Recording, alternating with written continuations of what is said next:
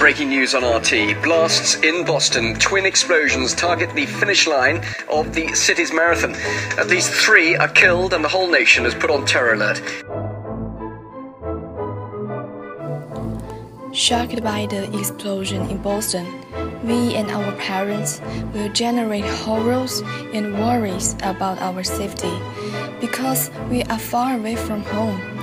We know that the same thing happened before we came to here. The shoot case in Connecticut, which caused more than 30 deaths, and most of them are just young children.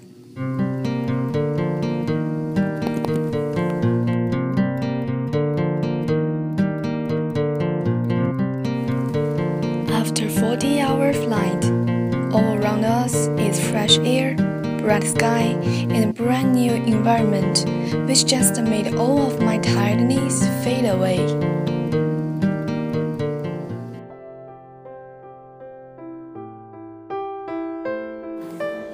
We found that Americans are friendly and very polite.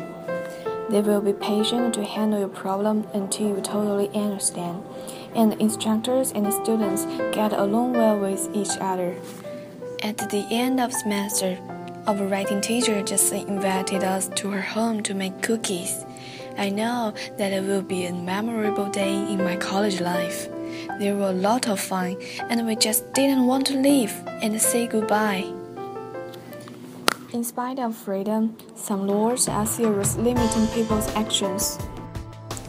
For instance, we know that people under 21 cannot buy or drink alcohol. According all about, we discovered that there are commons and differences among countries.